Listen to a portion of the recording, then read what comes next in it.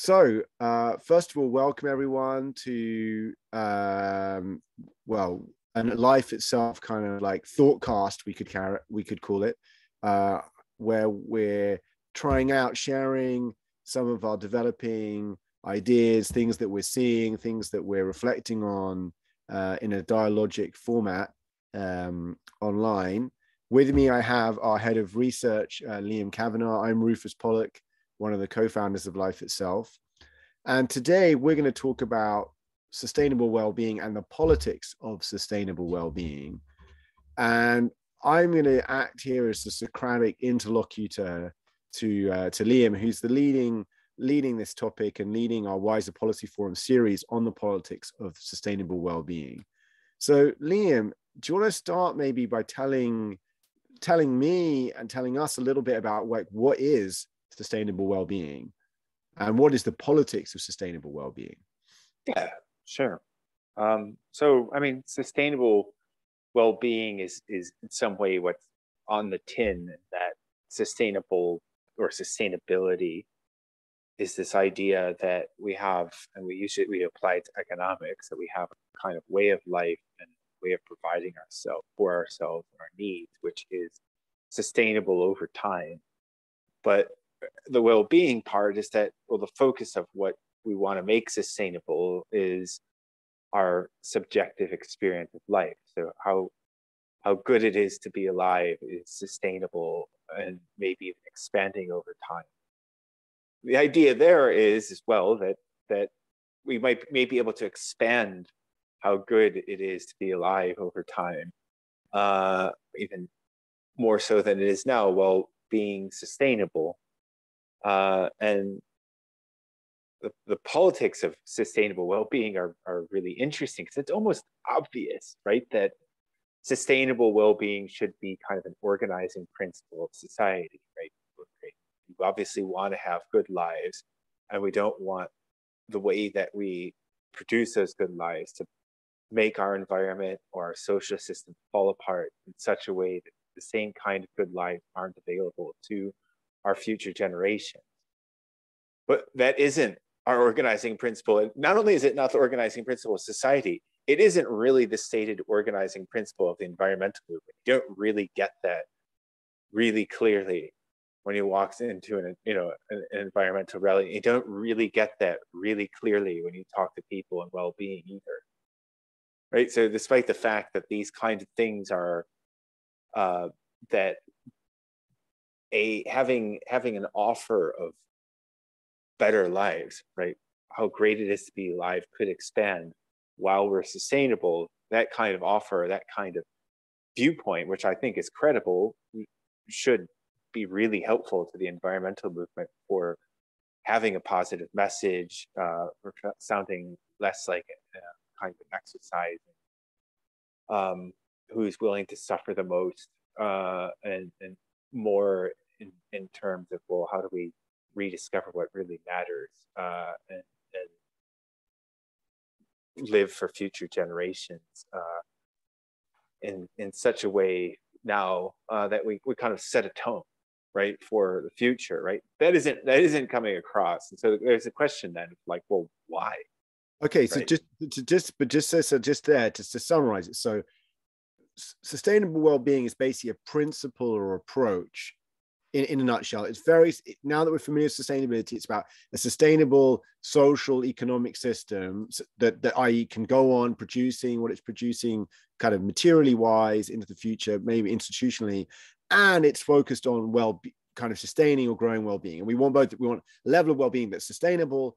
Um, and it's, so it's this principle and approach to how we would organize society. That, and what you also said was a that should just be obviously you know kind of when you think about it isn't that just obviously how we should organize society? And and um, and what you said is that may be so but actually it isn't. That's why it's it, it's you know coming up with a principle that's just everyone's already like yeah of course we're already doing that. But this principle though obvious isn't adopted and isn't even adopted necessarily by groups you would say who might be really in kind of in favor of the environmental movement and so on so yeah so then the second point is i then get just to check the politics of sustainable well-being is is what the effort to make this a core, a key, a key part of policy is that, or, or exactly. as a way of addressing climate climate. Yeah. Oh, oh, yeah. Well, it's all of the all of the above. How do we address the, the climate crisis? Because that is sustainable well-being, right? So addressing addressing the climate crisis. If you're interested in sustainable well-being, then the first question is, well, we have a sustainability problem. And how, how do we use perspectives on well-being to address that sustainability problem? Part of the, the way of motivating people to be sustainable is to offer a vision that is better than the life they have now yet sustainable. Uh, you know and and and that's a, the way you, one would build a coalition right well okay we're all going to have better lives well our society as a whole is sustainable. That sounds good. you know, let's make that happen. That's the way to put sustainability, you know, sustainable well-being in the center of, of society is to, to build a program based on the principle that people look at uh, and progressively over time gravitate towards uh, so that this becomes the, the organizing principle of society. And you know, the question of the dialogues has been, well, how do we get that started? And, and what does it look like? And the thing is, there's also a hot topic because in a way we have something not like we have a very clear looming, well, I think to most people, looming climate crisis, uh, maybe not even looming, I'd say present, becoming present, very present. And the thing is, so the sustainable well-being approach could also be you're kind of saying a way there seems to be a bit of a deadlock. Like we're not making the progress we'd like to policy-wise we seem. But so why is sustainable well-being sort of not? I want to use the term solution. Why is it a? Why is this principle approach possibly u- useful in in in taking action and, and and uh, kind of driving political action around the climate crisis? Well, I mean, there's a lot of different ways you could you could look at it, right? So this first coalition building, right? That okay, look, because the, the basic principle is okay, we can have better lives. Probably, there's a really good chance we could have better lives while being sustainable. So thinking about well, what does it look like to have better lives, and being sustainable allows the beginning of a, of a formation of a platform. Now, a lot of the radicality that would be called for as part of that platform we might not be ready for uh, but uh, we can get started thinking about it and we can help the platform uh, we can allow people to realize the severity of the of the of challenge we face actually by emphasizing well-being right? It's actually possible. I mean, I, I know all sorts of examples where living proof. Thich Nhat Hanh admitted, for example, that you know humans might not be around in a hundred years. He's a pretty happy guy, right? Uh, yet he he admits it, and and many other people that I know. That's up. Oh, we're not all Thich Nhat Hanh. You know, I'm fairly happy day to day, and I know lots of people are fairly happy day to day. At the same time, that we accept social collapse is you know quite possible. And allowing oneself the ability to admit that there's a real possibility that you know, we're going to have major instability socially. At the same time, we can be happy now. I can hold that awareness and be joyful despite it. Um, is a really powerful way of pushing the conversation forward. So it's actually the, the skills of well-being are part of the ability that, that you need to accept the challenge that's set before us by the sustainability crisis and not and not and not fall into either either suppression I, it's not going to happen it's all going to be fine um, you know we're going to be saved with i don't know whatever or or kind of despair like you know so exactly okay. So just so i'm just recapping myself. So this is this sustainable well-being is this kind of vision or approach uh, in general to organized society. It's not as adopted. I mean it's not front and center of, of the conversation. What i'm getting is it sort of moves us like why it's also a kind of interesting move then politically as a general approach is it's kind of it, it's one a solution could be like we all just need to go wear our hair shirts. We need you know the solution we can get sustainability but we're not going to get well-being. You know like we're going to suffer you know we're going to sacrifice um and i'm not saying they're going to be well we're coming at the materially sacrifice. And i think that's a point you're getting at. Like so that's one aspect which keeps us locked in it you know while a load of people don't want that so we're not going to do anything. Another solution is that well we're not going to be sustainable. Like let's just keep going the way we're going and it will be, you know, maybe it'll be all right on the night. Maybe somehow, you know, that will capture this carbon. Um, that's another place in it, like, you know, probably unsustainable, but good on the current well-being, material well-being.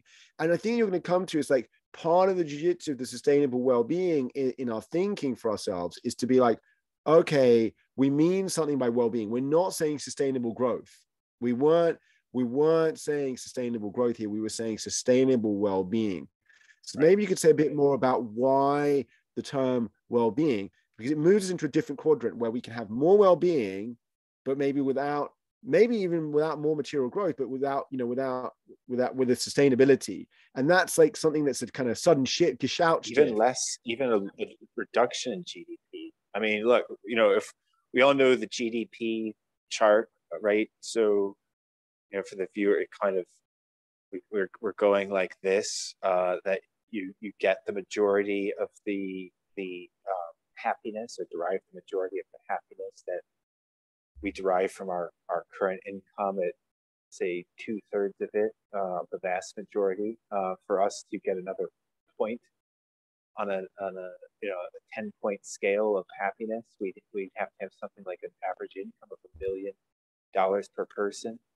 because you need to essentially it grows in a way that's called it's logarithmic basically happiness. The relationship between happiness and stuff is logarithmic. So we'd essentially need 10 times as much stuff as we have now to get one more point uh, under the most charitable assumption about how much material stuff gives us. Some people dispute even that but even the most the people have the the, the, the sort of most positive view about the, the contribution of material stuff to happiness would admit that would basically, in order for us to go from 7.2 to 8.2 uh, as a society, we're talking about, say, the United States, we have essentially almost, uh, I think it's, it's eight to 10 times the amount of stuff we have right now. Like that isn't going to happen, right? So we've, we've, at the early stages of society, we got these great returns I mean, I personally would say, yeah, people, people, you know, in 1850, they were really benefiting from more stuff.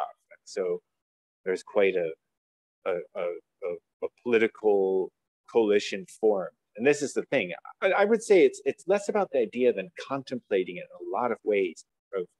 There's this idea, and I would say it's a is I know to say go with life itself's general approach.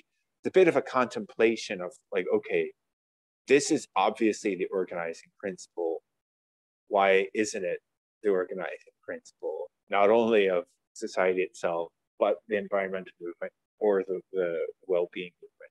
Kind of at the center is there's this this this political coalition which is formed around around growth.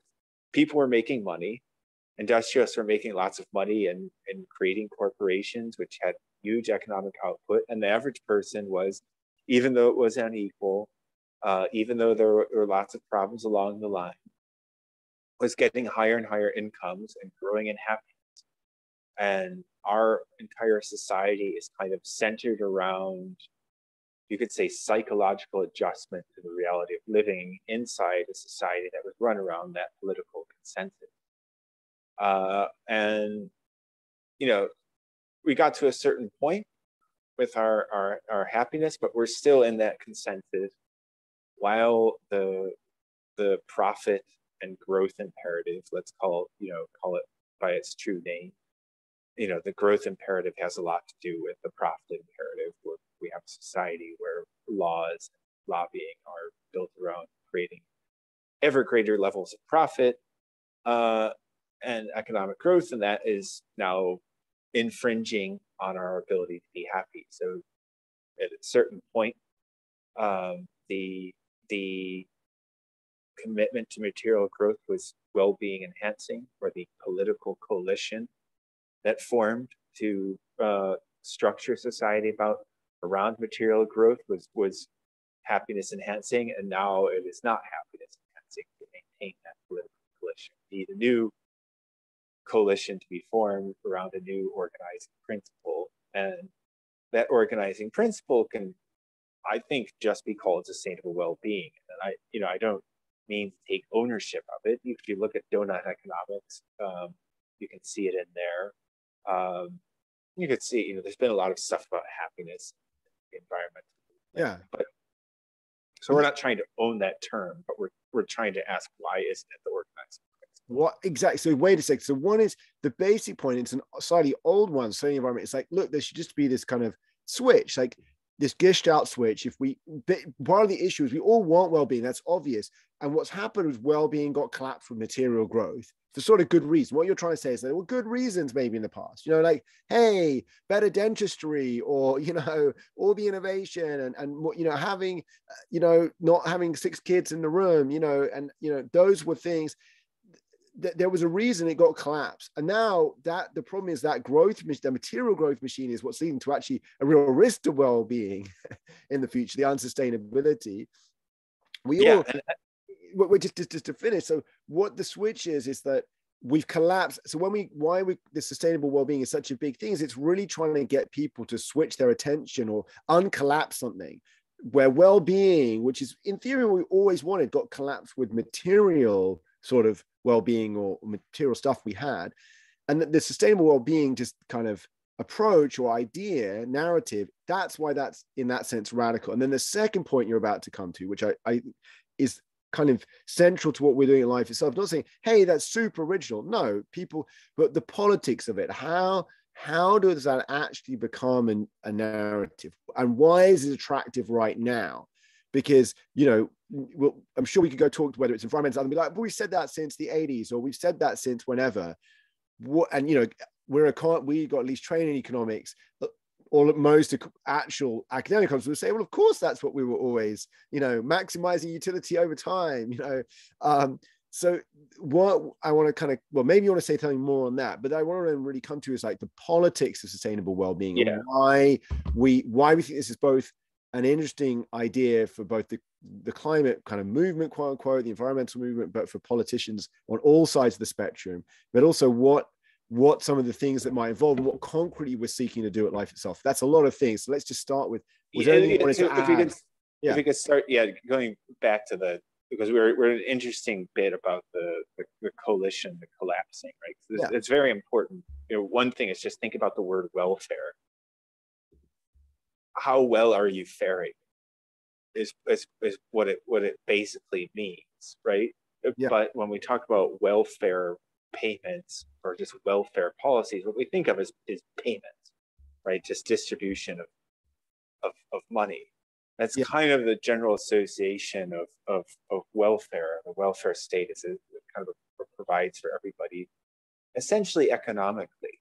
Uh, it's a main the main association because that term was at a point when the collapse between wealth well-being and and money or material goods was very strong. Um, then that's kind of connotations and the feeling of the word. So we can look at we can analyze it intellectually and see that isn't really what it means but what it feels like is kind of okay we're providing for everybody monetarily. Uh, and, and that's evidence of the collapse. And um, and then there's this question of, well, how do we how do we question that? And well-being is what's nice about well-being is that is an attempt. So in the 90s, people started to talk about well-being as kind of an addition to uh, normal policy uh, ideas, the normal conversation about what makes life worth living. There's kind of this supplementary sphere which opened up uh, in you know the kind of the nether regions of you know post Thatcher, post Reagan capitalism. Yeah. Health and well-being. The fact that the industry a lot of times is called the health and well-being industry. It's kind of health is not part of well-being. yeah, yeah exactly right? There's it's kind of this you know alternative it has this this vibe of an alternative space. So people needed to because there was this collapse was going on we needed to come up with another word which described the space for something else. And that that space of something else has been expanding but at the same time it has a reformist win-win meek kind of connotation, right? And this is, you know, part of the issue is that the basic, like, you know, for example, welfare, you know, policies, look, totally equal income distribution uh, is an example of the most controversial welfare policy of all time. There's lots of issues with it, right? But the with just forcing income distributions to be equal, because then people don't produce as much on the same other hand, if we are producing, if we have the total level of production society is kind of fixed, the more it's spread between people, the happier everybody is. Because, like we said before, this curve goes like that. And if you kind of, we have, you know, yeah, yeah, can have one guy over here and the next person's over here. We have them both here,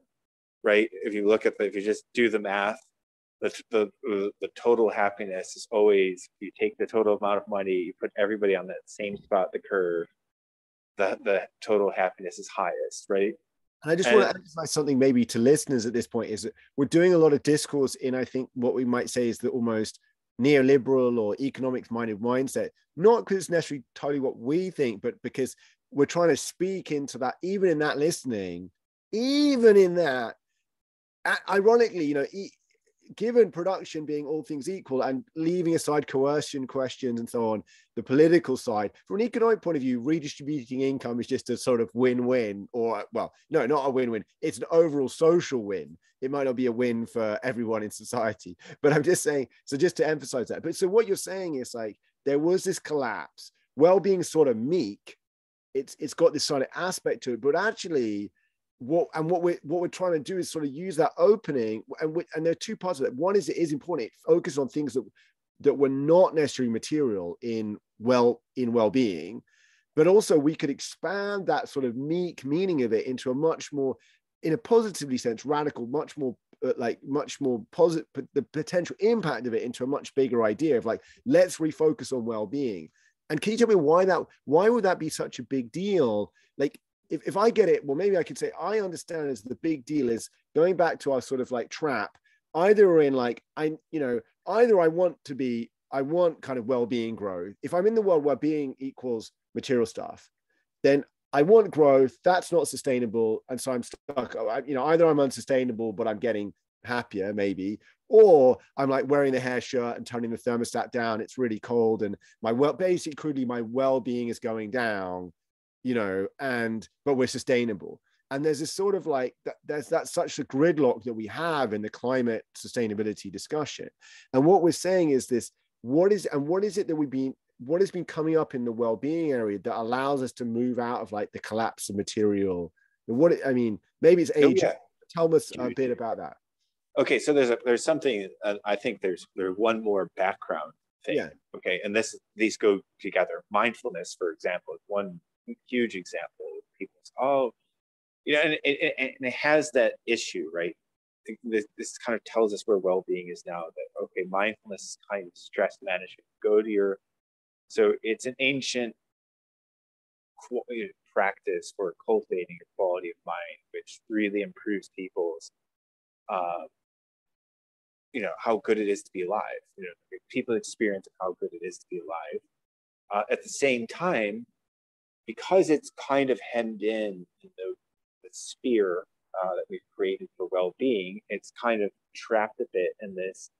Well, you go to your kind of your job that you don't like, and you have lots of stress you mind, right? That's that's kind of this this this stereotype of it, or the criticism of it. So at the same time, we've discovered that actually it really works, right? So uh, the, the trick is to use that we've learned in well-being about, you know, we've been kind of accepting the system as it is and putting these little kind of buffers and hacks on top of it. Say, well, why don't we just change the whole system to allow this kind of cultivation of different qualities of mind reach its fullest potential rather than allowing whatever cultivation of different qualities of minds can fit in the growth oriented system right and and you know right. that's right. Right so something that was almost it's like at the beginning it's like the sticking plaster on the growth machine you know and well-being meaning even is reduced to sort of like hey most of well-being is material and there's these small little extra fixes like you're stressed at work. But as this grows as we see the potential of it and as we really took the meaning of the word well-being or welfare seriously it sort of would kind of like invert the whole system. The, the patch would sort of become well I don't know like it would go from being the small the, the mice on top of the elephant to the elephant and they're kind of on the mouse and what just to get that part of what you're also saying i think there's several it's why it's such a rich conversation. Part of it is just the very arrival of mindfulness, at least in the West, the collision, you know, traditions which are very ancient, even in Christian prayer and things like that. But they're kind of mainstreaming their collision with sort of Western science, or kind of merging of some aspect we're in a moment now where compared to even 20 30 years ago the amount of psychology research the amount of evidence base we have for well-being things like mindfulness which have this much richer potential than just some stress management, like profound potential. That's reaching a kind of critical mass, is a sense like it, it, of maybe it's not quite there, but there's a now a material say, wow, what we could call like zero carbon well-being policies. You know, you know, the traditional one was we're going to add to GDP. That's not at least until the fantasies of I don't know Elon Musk or someone come true. It's not zero carbon uh, growth. That's very much not. But so we growth and well-being. We've suddenly got all these techniques that not just at the superficial, but at a really profound level offer amazing well-being. And I mean, you, we mentioned one is mindfulness, but are there other Trauma recovery, you know, another. Tell me, tell me a I bit mean, more about that. Yeah, well, look, there's there's a two percent of the population essentially uh, suffers from complex trauma. Twenty percent as some type of trauma, which seriously affects their their experience of, of life, uh, negatively affects their, their well-being, but also massively affects uh, anxiety. Um, it's kind of it's an interesting question of how do you measure well-being. It's actually people with recover from trauma experience ex- say that their lives are massively better, though their their scores on you know linear tested well-being aren't as different as, as you uh, as you, you might like to see them be. But as far as well look my my whole life uh, i've been uh, with people who recover from trauma and i'd say you know me that's that's partially true you know that i i had um, a, a, traumatic childhood. I used to have anxiety attacks you know six six times a day. Uh, you know i don't have i haven't had an anxiety attack six years. Uh, and, you know, I probably put my well-being, my, my well-being at a 8.5 now, and I probably put it at a seven, 4.5 before, but I don't actually agree that it's a point better. Uh, and so there, there's kind of this, these questions we have to ask yeah. ourselves. But at the same time, it's really nobody nobody who who who is around people who've recovered from from trauma.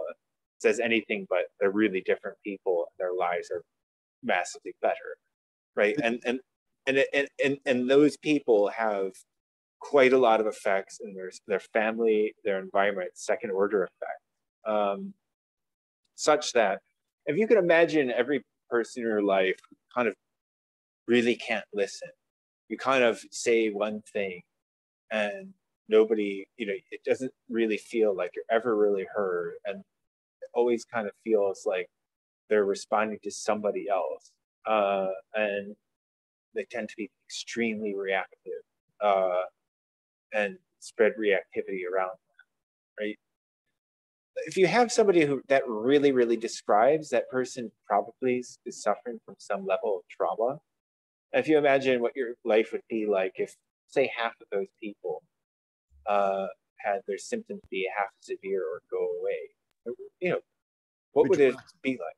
And for them, I mean, I think there's also like there's the A study. I mean, Felitti's data on the impact of and you know severe quite severe trauma in childhood and suicide, you know, can I mean, it's still just yeah. on the health.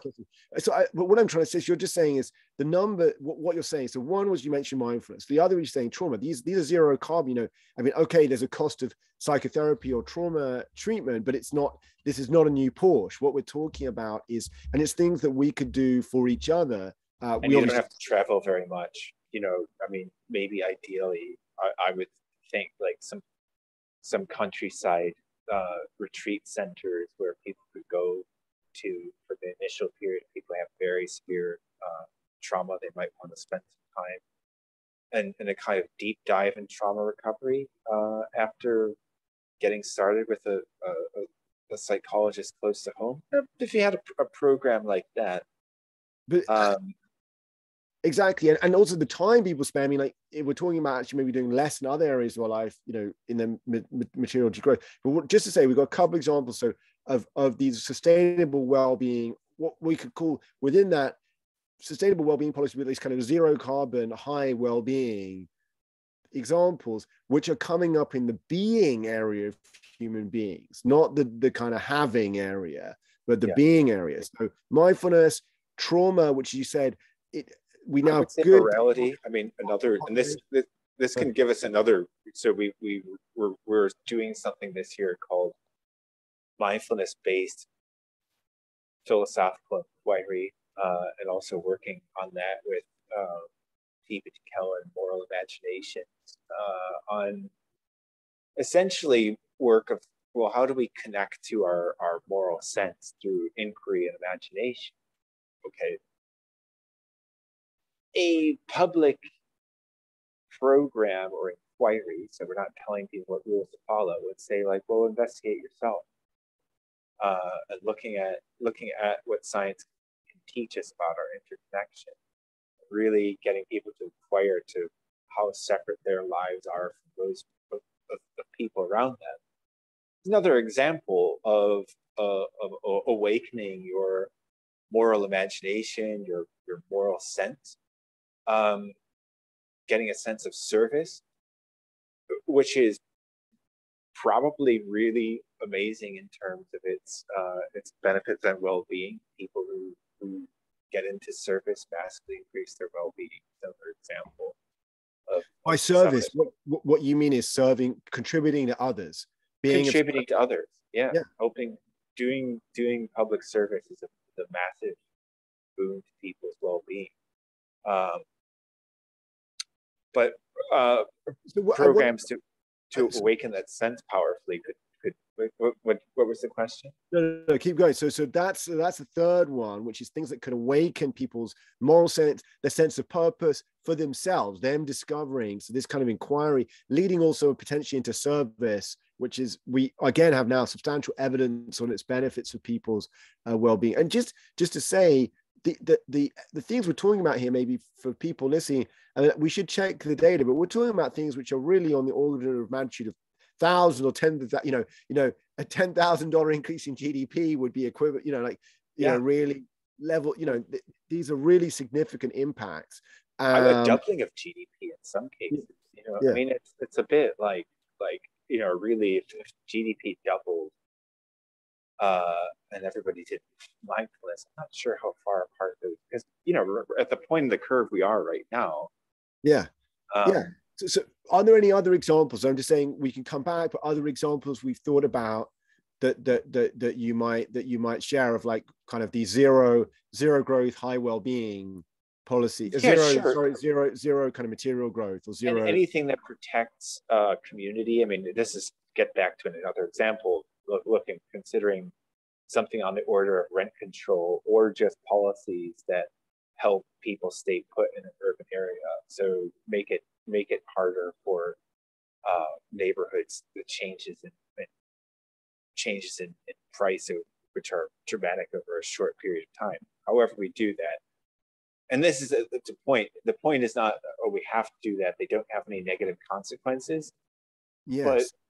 But what we're talking about, some of the inner stuff we're talking about is is it seems a little bit more consequence free as soon as you get into the stuff yeah. like rent control. it gets super controversial, but I think it's it's part of the the discussion of the ethos of a, of a movement that really is going to talk to the, the center of society is that we're not just oh rent control we can't that's too much you know yes we have to take those yeah. totally seriously right and we can't be just in this what I call like I sometimes think the trivial in economics called Pareto improvement, but like win-win for everybody because it, yeah. it, puts you in a corner where there's very few there are some policies but like even trauma recovery someone pays for it there's a cost quote unquote or someone has to put energy I, and i think let's just go to that and i think the point you're saying about rent control is in one version of that story of the past it was sort of almost a kind of uh you know not like kind of the people versus the the, the capitalists or something like you know like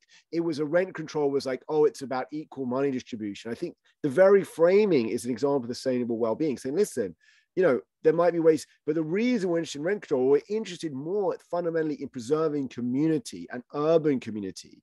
And that's why we're interested in rent control. We're not, we're not trying to redistribute money so much. We're not trying to restrict people making money per se, but we're interested in this. And that because of its deep relationship to well-being. And just to go on about that, because that was just one an example. I think it was great. You gave a very concrete one. Maybe it's controversial, but the thing was, there's so many things that come out of community. There's a lot of evidence we now have over the last 50, 60 years of the impact on health. I mean, there's the famous Roseto study in Pennsylvania that we could talk about at length, but there's a lot of stuff. Um, you know, there's obviously famously Putnam's Bowling Alone, other things, where really documenting this evidence. And so that's another rich area we could mine for sustainable well-being policies, things that enhance or sustain or support community and community and human relationships, essentially. Work from home laws is another example, right?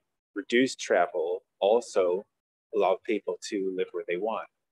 If people are are have you know are telecommuting over long distances, where are they going to live? They're going to live basically near to the people they want to live around.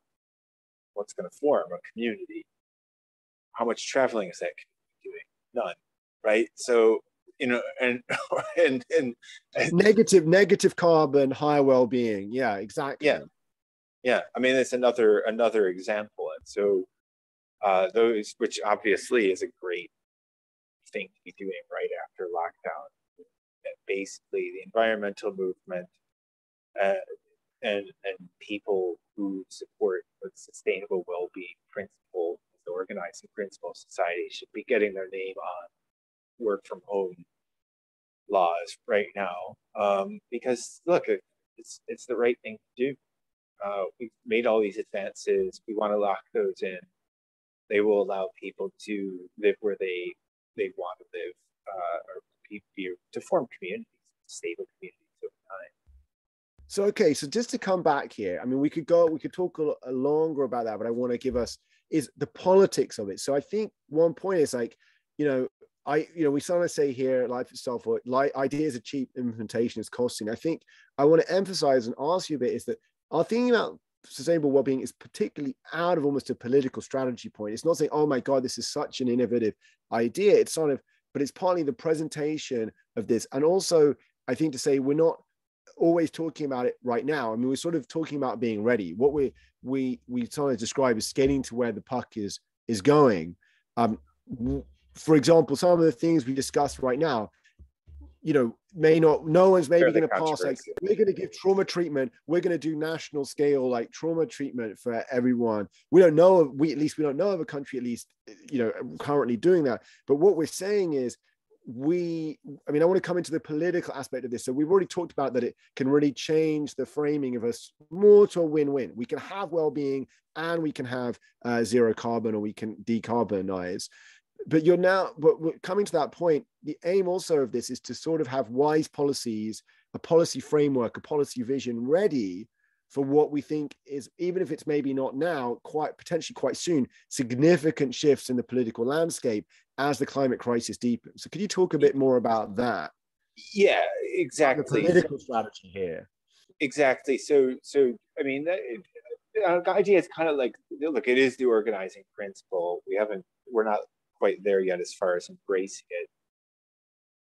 How are we going to plan for the point? Right now, what's happening is, is people basically, most people have not fully internalized. They don't have a felt sense of just how severe uh, the climate crisis is going to be, what type of challenges able, and, and that is understandable because you're a small individual. We all are, millions and millions of people in your society. And it kind of takes a whole world of billions of people to do something substantive about climate change. There's a lot of resistance to letting in the difficulty of the issue.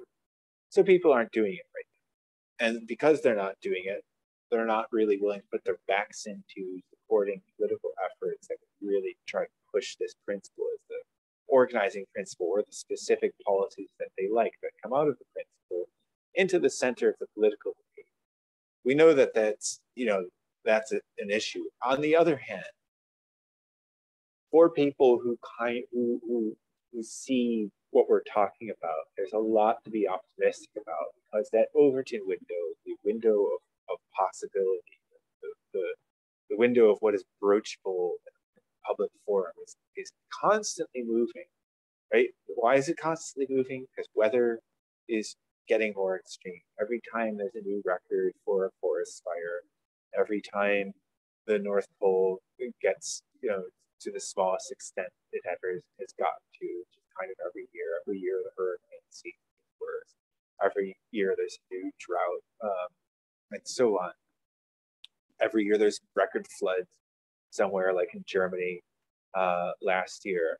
A new group of people, a new country, kind of suddenly wakes up to the severity of climate change. Germany has uh, quite a bit this year, right? And um, so that Overton window is going in one direction as far as the ability to embrace radical change.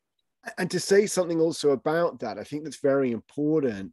I, what I want to say just with me at this point is that really I find this is people who, well, we kind of now understand that humans tend to project a bit linearly into the future. We have different, I mean, people go on about this in technology that we underestimate the speed of technology or S curve adoption. But it's also true in political things.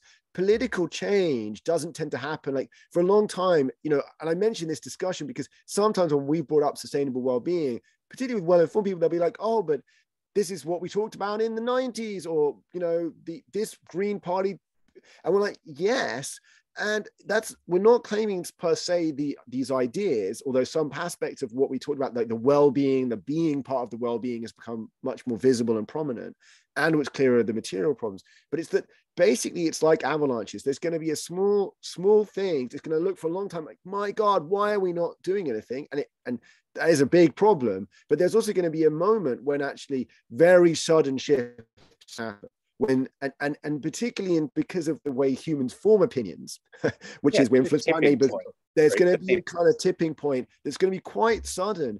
And one of the we we we we we imagine and we certainly hope around action around climate crisis.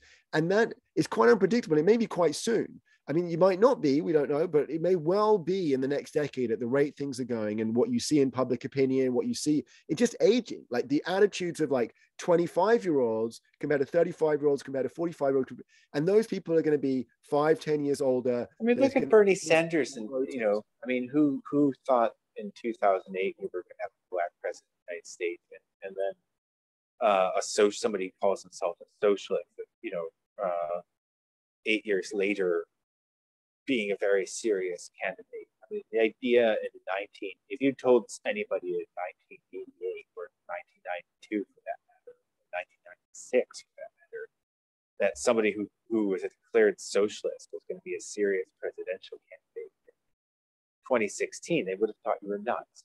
You know, as a matter of fact, I know they would have thought because I, I, I had that conversation right? Right. And, and so what we, we're saying here, when you talk about this Overton window, if people are not familiar, which is the, the space of what's kind of considered even acceptable in ideas, just in the way that you gave a good example. For a period in the United States, being a socialist was just outside the Overton window. It was outside the window of political acceptability. Um, you know, uh, I mean, another one is Angela Davis. I mean, I think you know some of the people, a woman who was declared, you know, made major for you know influence considered, you know, in things. Some of the things now. So what we're saying though is also that even if these policies right now seem a bit like, oh wow, you know, that that's never going to happen. You know, except in Germany, rent control never happened. You know, the things could move very quickly in terms of attitudes. And the point is that these are policies that are hopeful policies as well. They're not simply just moving in the direction of like, oh my God, we're all going to have to have no heating. They're, they're, they're, these are things that as we move into the center are both optimistic for the future, plausible, but, but really have a potentially mass appeal. So there's aspect of what you're saying is the political strategy is this is something that the window is starting to open for. Mm-hmm.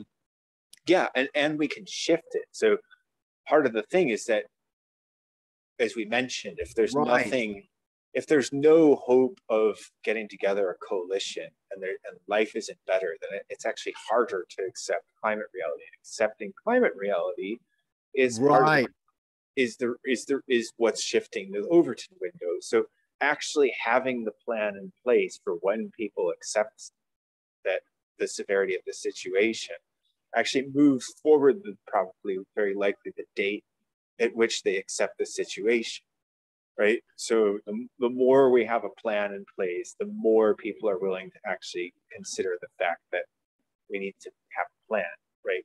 Right, right. and right. If, if i tell you there's a fire but there's no lifeboat on the ship kind of like you you're kind of more likely to just not think there's a fire you know? Like if we, there's there's this aspect that if we're giving people so i that's very important and a little bit subtle of a systems feedback type point where there's both we need something when people see more enough people see the reality to really support real political action and that very existence of a kind of and not just kind of the green growth, slightly like, oh, right, we can have our cake and eat it. You know, we're just going to keep consuming electricity, doing all this stuff, and it's all going to be fine, which doesn't. But you need a narrative that's really plausible, helps actually people accept it, and both on the kind of the, the the the, maybe the more tough doomer side and on the more optimist side on both parties both that's another point maybe to come to is that you mentioned right at the beginning that even for the environmental movement this kind of la-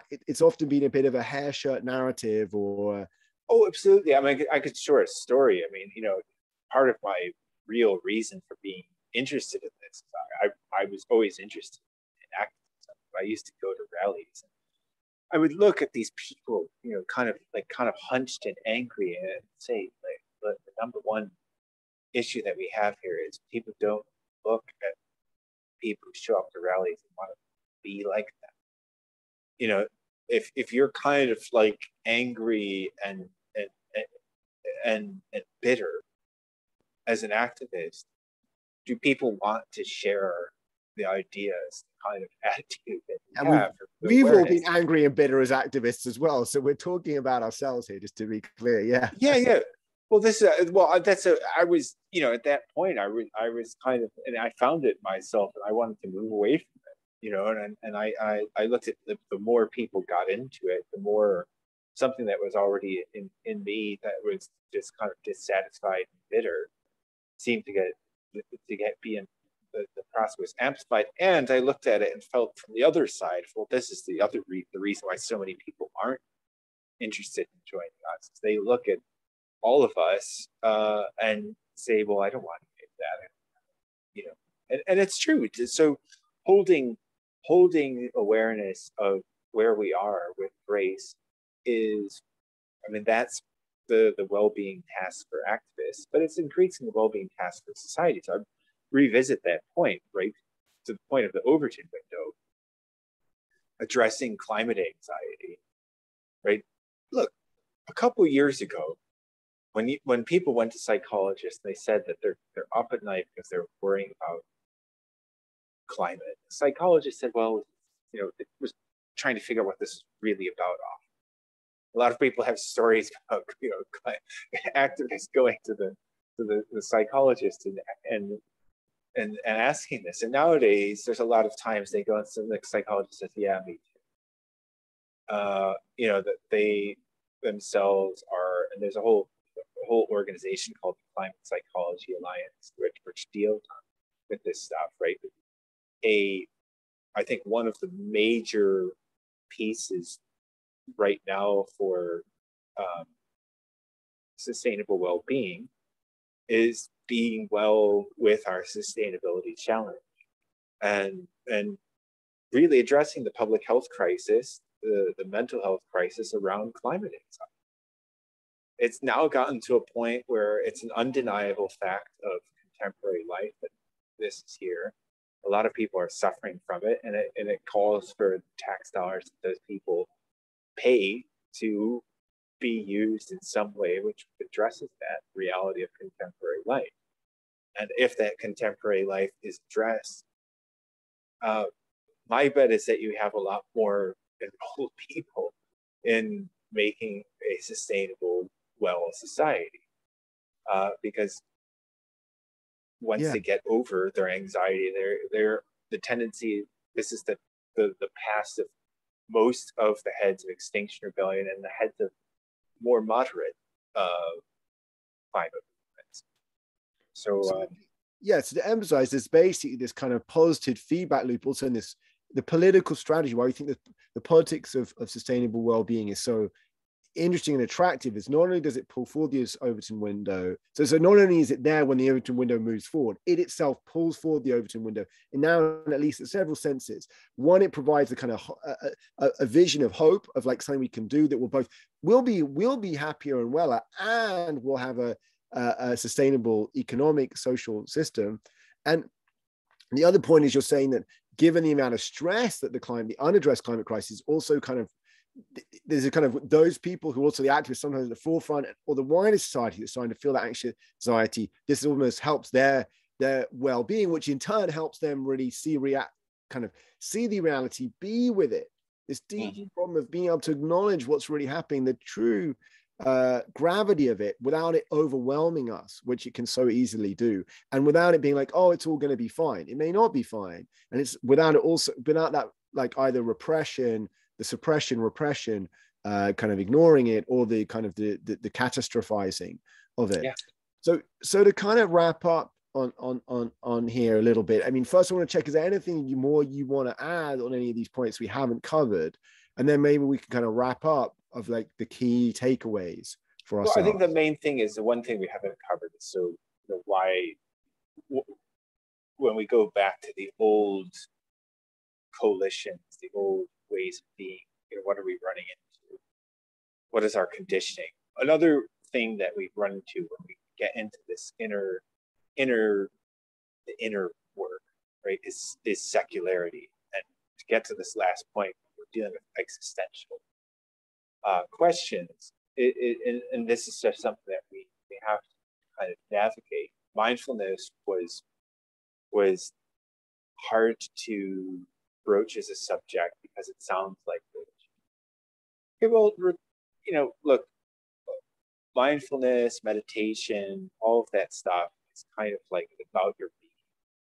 Uh, it's about about um, working with your your basic state of being, and that is not generally being considered a public space.